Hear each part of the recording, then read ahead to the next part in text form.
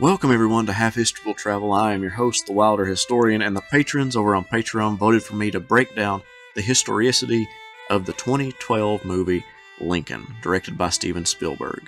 I realize that there is so much to cover in this movie that it will take multiple parts, at least two, possibly three, so I will be covering those in the next few weeks. Thank you to all the patrons, and enjoy.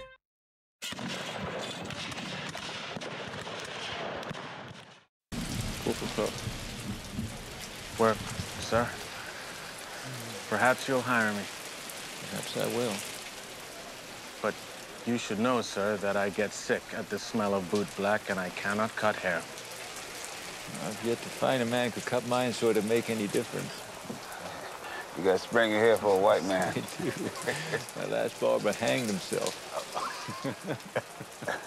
and the one before that. Left me his scissors in his will. Here we get to see one of Lincoln's trademark actions storytelling. He loved to tell stories, and that is what drew a lot of people to him. One of his first jobs as a young adult was working at a country store as a clerk. People came to the store for goods, but would be entranced in one of his humorous stories.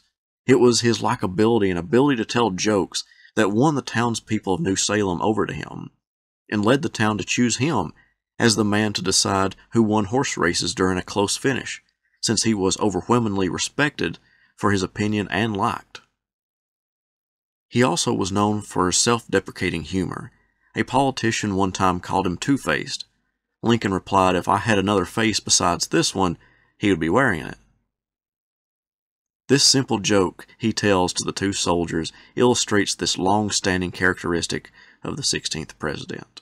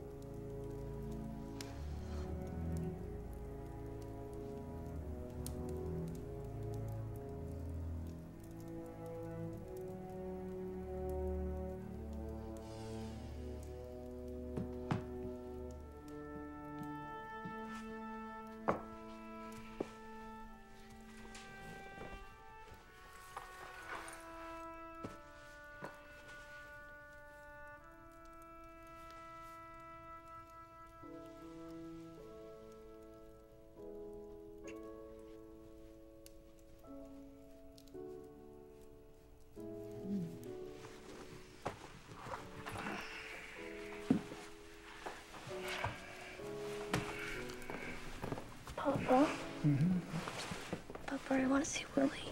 Me too, Daddy, but we can't. Why not? Willie's gone. It's Three years now. He's gone. Some movies hint at Lincoln being human, but this film excels at making the president human. He was not just the commander in chief, but a father and a husband. In this scene, we see him caring for his son Tad.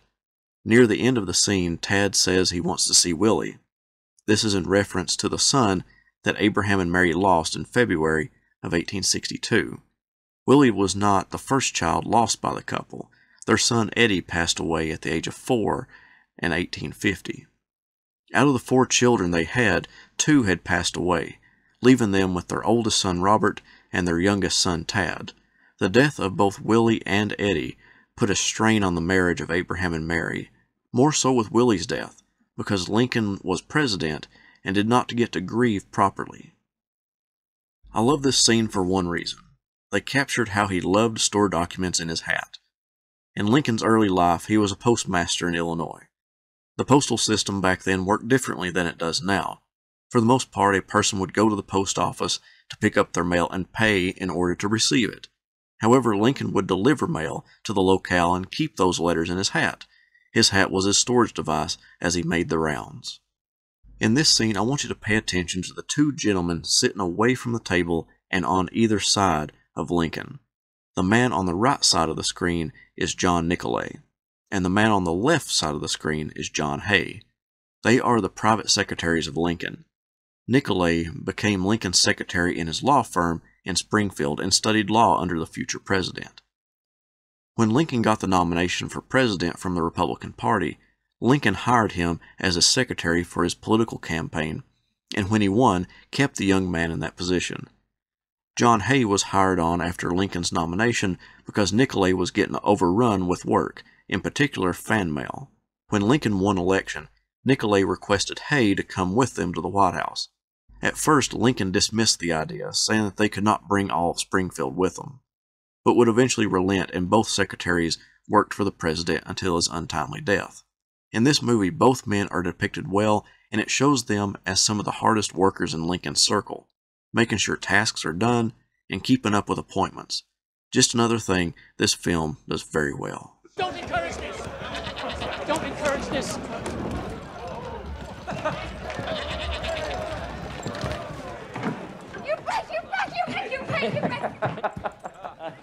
The goat got big.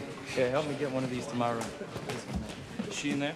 Here, Tad Lincoln drove a goat pulled wagon through the White House in full view of dignitaries and people hoping to see the president. This may seem odd, but after the death of Eddie, Lincoln's whole demeanor changed toward his children. He went from being distant and restrictive to being loving and carefree. Because death was an ever present figure in Lincoln's life, he wanted his children to have as much fun as possible and be children. At his law office in Springfield, Willie and Tad were known for pulling books off shelves, ripping up important documents, and causing general havoc, while Lincoln sat oblivious to the chaos. He did not want to punish the children, and this came through in this scene with Tad causing a lot of disruption and Lincoln not paying any mind, with White House servants attempting to control the situation as much as possible. I prayed for death the night Willie died. My headaches how I know I didn't get my wish. How to endure the long afternoon and deep into the night. I know. Trying not to think about him. How will I manage? Somehow. Somehow. You will.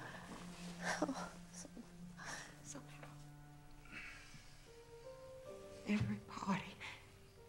Every.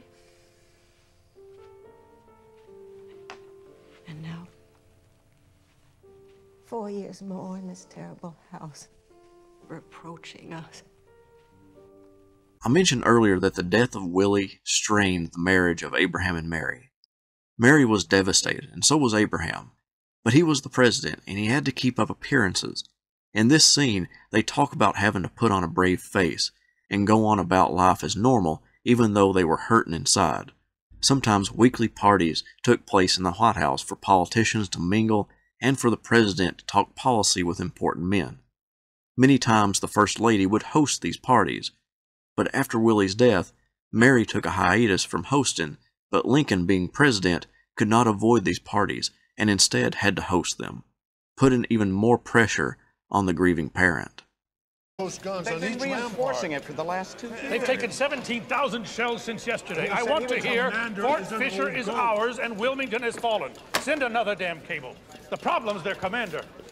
Whiting. He engineered the fortress himself. The damn thing's his child. He'll defend it till his every last man is gone. He is not Coming making out, rash- you old rat! That's what that's what Ethan Allen called out to the commander of Fort Ticonderoga in 1776. Come on out, you old rat! Uh, of course, there are only 40 odd redcoats at Ticonderoga, but, but there is one Ethan Allen story that I'm No. very partial to. No, you're you're going to tell a story. I don't believe that I can bear to listen to another one of your stories right now. I need the B&O side yard schedule for Alexandria. I asked for them this morning. It was, I don't care. There is so much to talk about in this scene, but first let's talk about Lincoln's presence in the telegraph room. The president spent hours in that room, getting in reports from commanders about battles. Not one day of his presidency did he not think about the war and the politics surrounding it. He engulfed himself in the war. We also see John Nicolay seated next to the president as he tells another story. Another moment in this scene is one that I have never seen before in a movie. There may very well be one, but I have not seen it. A Civil War battle from the perspective of the president and his cabinet as the results come in by telegraph.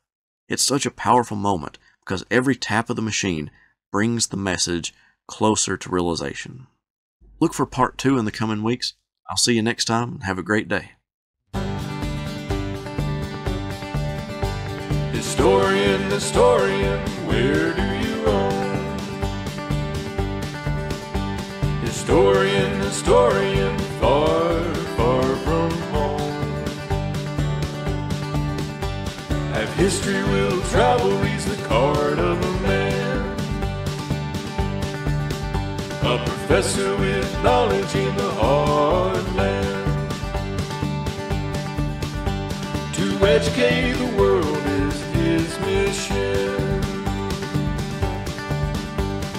professor of fortune is a man called historian.